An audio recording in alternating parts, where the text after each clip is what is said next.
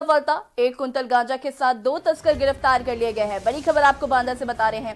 Tindwari police और surveillance team ने पकड़ा गांजा।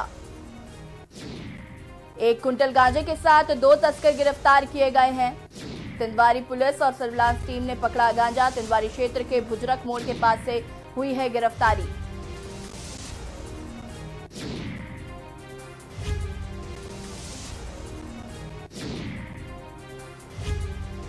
बड़ी खबर आपको बता रहे हैं बांदा से, जहाँ पर एक कुंटल गांजे के साथ दो तस्कर गिरफ़्तार किए गए हैं।